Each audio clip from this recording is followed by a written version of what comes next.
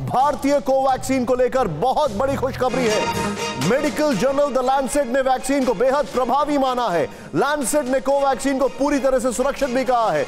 लक्षण वाले मरीजों पर कोवैक्सीन 77 परसेंट से ज़्यादा असरदार लैंडसेट ने कहा है। अड़ी, सोमवार से शुक्रवार, शाम छह बजे, सिर्फ़ टीवी नाइन भारतवर्ष पर।